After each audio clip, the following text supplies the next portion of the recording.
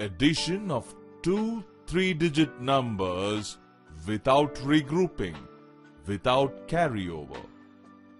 Children, now we learn how to add two three-digit numbers without regrouping.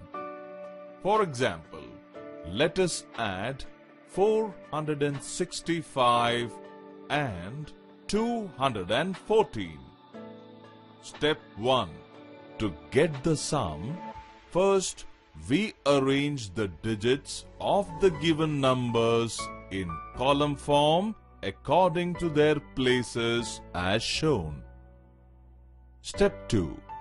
Add ones to ones, tens to tens and finally hundreds to hundreds and write the sum in their respective columns as 5 plus 4 is equal to 9.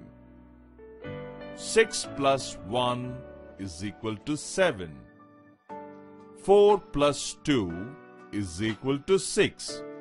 Thus, 465 plus 214 is equal to 679.